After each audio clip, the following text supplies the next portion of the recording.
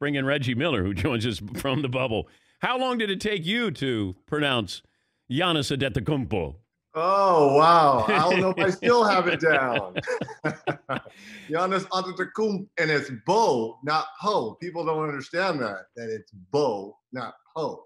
Thank you, Reg. Reg will be on the call. Mavs Suns at four Eastern, Blazers Nets at nine Eastern on TNT. So uh, double duty here.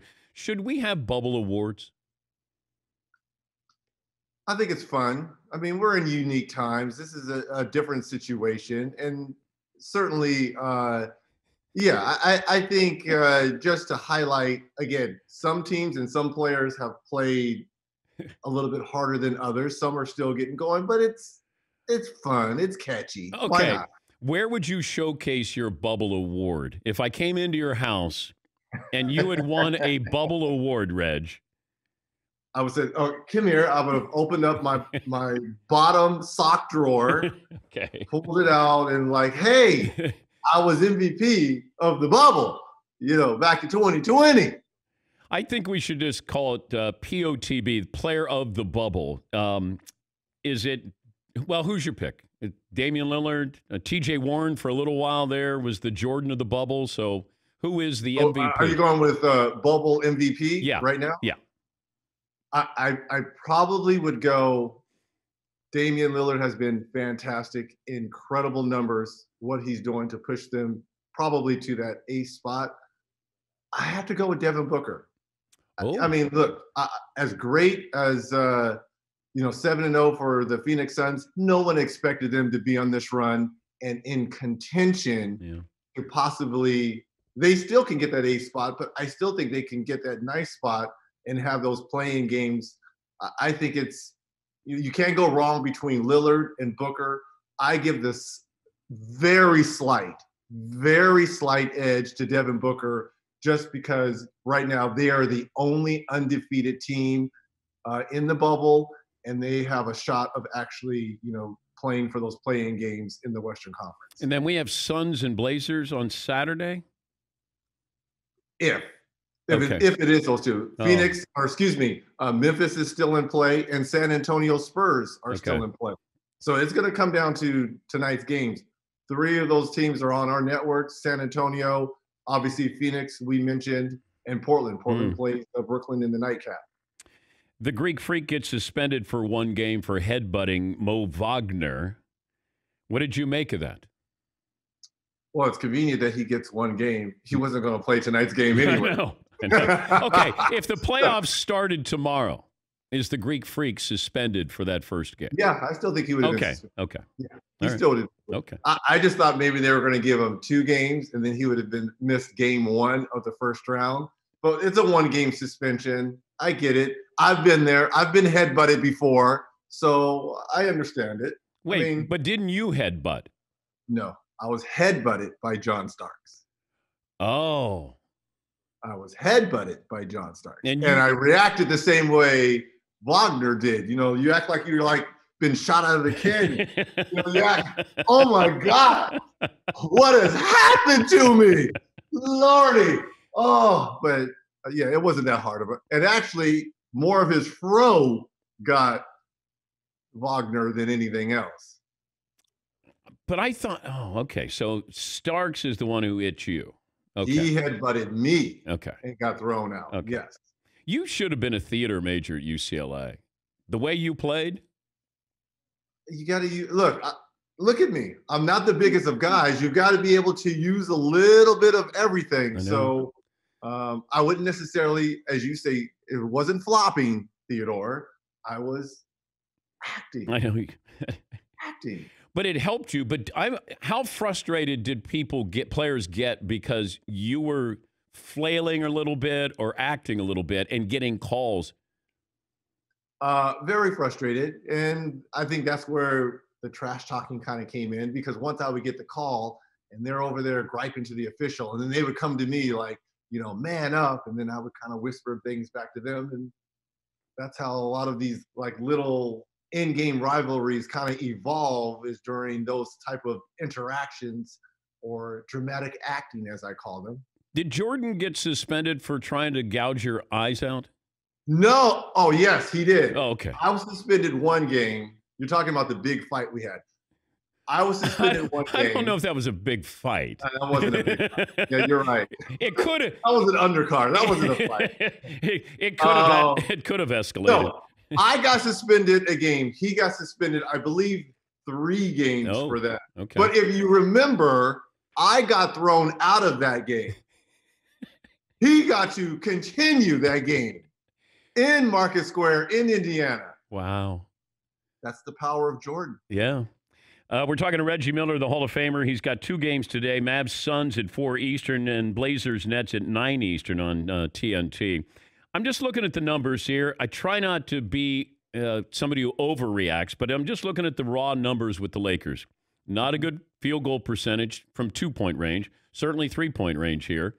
And you could be walking right into the Portland Trailblazers or Phoenix Suns here.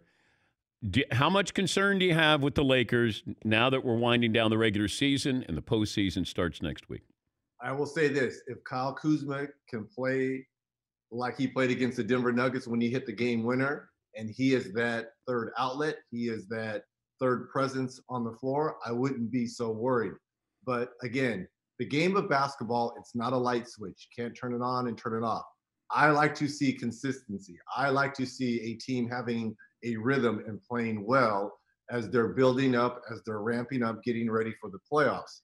We have not seen that from the Lakers. Is it concerning? Yes. But at the end of the day, you still have LeBron and you still have Anthony Davis, who, by the way, has struggled as well in this bubble restart. So I would love to see a little bit more consistency in terms of, as you mentioned, the numbers of shooting. But if they come out and if it's against Portland, if it's against Phoenix or whomever, Memphis, San Antonio in the first round, and they go four and one, this will be a mute point. But if they struggle, remember these teams that they potentially could be playing, every game has been a playoff game for them. So they're already playing at playoff level. It's not a light switch. If the shooting's not there, it could be a very long series for the Lakers. Yeah, that's what I wondered about. Let's say Portland gets in and every game has been a playoff game for them. At some point, you may run out of that energy that you have. Or, you know, can you go on a run because you've been playing at playoff level basketball there? That that would be my big curiosity with no matter who the Lakers face, those teams are coming in scratching and clawing. Yeah, you, you you're wondering if they're going to run out of gas. Yeah. But I think for Portland, they have. I think they've been campaigning, especially uh, Damian Lillard. If you remember before this bubble restart, when they were questioning uh, who were they going to bring and were they going to have a shot at making the playoffs, Dame says, "Look, if we don't have a shot of making the playoffs, I'm just going to sit on the sideline and cheer my my teammates on." I think that's why they formatted uh, what we're seeing right now and the way he is playing, I don't see any letdown on his end. The thing that kind of concerns me though with the Portland Trailblazers is the health report and the injury to CJ McCollum. I know he's having a back issue right now, and he's that other guy that puts so much pressure offensively on you. If he's not 100% healthy, um, I still believe Portland could upset the Lakers, but it, it diminishes their chances if he's not at 100%. Give me the other team that you would say keep an eye on, certainly if it's in the West or the East. look, there's going to be some unbelievable first round matchups. Um, we have like rivalry matchups. We've got Boston versus Philadelphia, uh, Al Horford versus his old team. We've got Jimmy Butler versus TJ Warren, Miami versus uh, Indiana.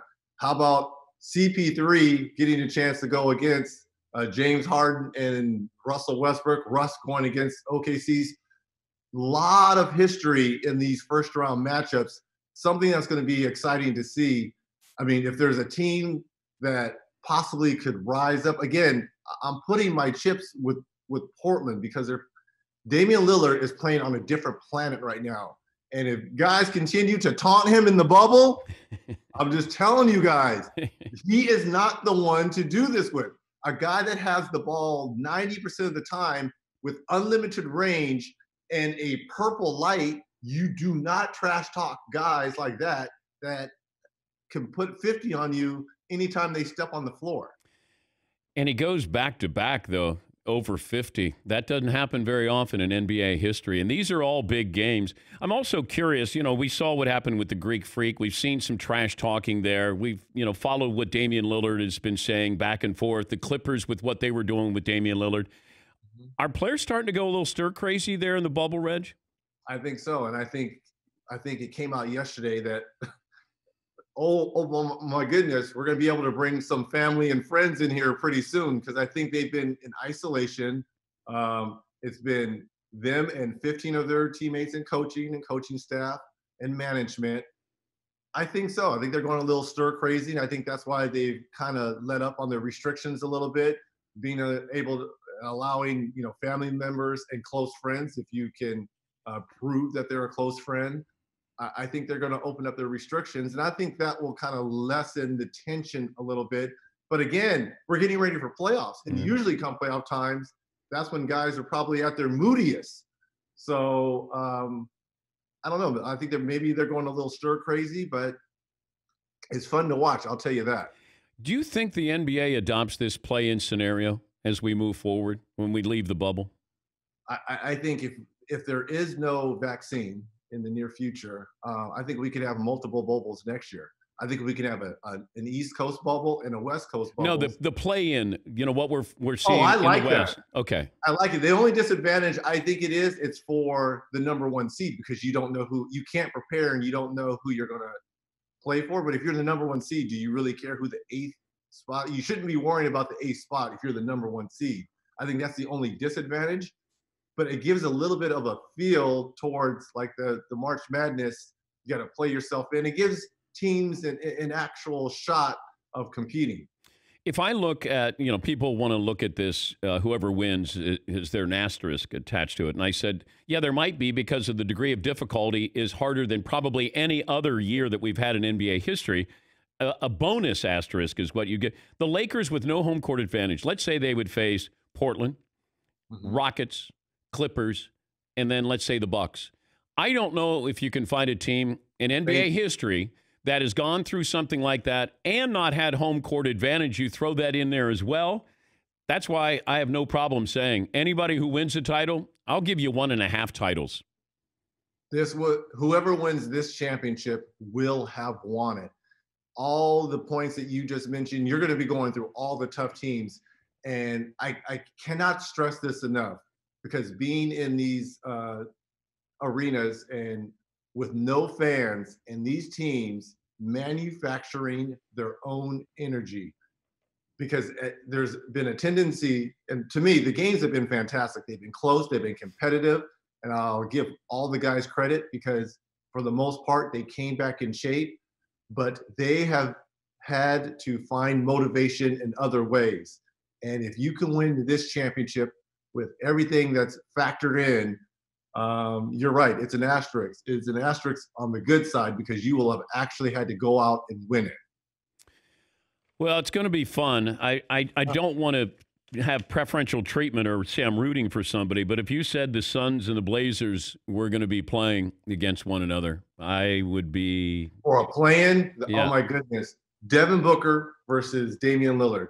That alone, that's a headliner for that play-in game. Remember, whoever is eight only has to win one game. The ninth place team has to win two games to get that eighth spot. So I love it.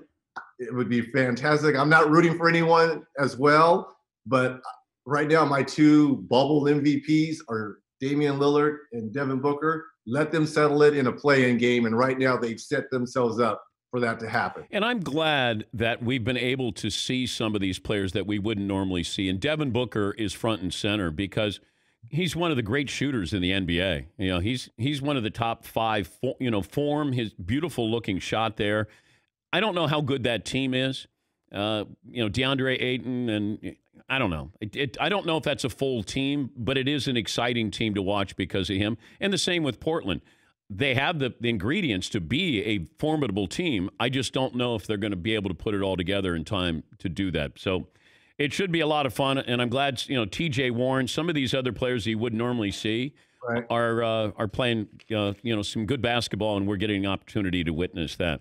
It's great to talk to you. Have fun uh, this afternoon and tonight. I, I appreciate it, and I'm a little upset. I, am with you. I I woke up grumpy the last couple days. Yeah. We uh we got robbed. Yeah. We got robbed. I consider myself the fifth Danette, and um, look, I give you a lot of credit. Your reaction was great. But trust me, if I would have been with you guys in front of that camera, I would be like, "This is bull. we, this is some bull. Easy. We were robbed. Where's our sports Emmy? You're lucky. You're lucky I wasn't with you guys. That would pretty much guarantee we wouldn't have a shot at next year. Maybe that's why yeah. they haven't given it yeah. to us. Yes. But you know what? If we had won, you would have gotten a sports Emmy. Well, I would have gotten, I would have made sure that you got a sports Emmy because you're family. I'm always honored to be in your guys' presence. Again, I always tell people, they always ask, you know, how's Theodore and how are the Danettes? I'm like, I am a fifth Danette. I'm an adopted child. I'm part of the family. Thank you, Reg. Appreciate it, guys. Love you. That's uh, Reggie Aloysius Miller Jr. the third. He's got a uh, doubleheader today.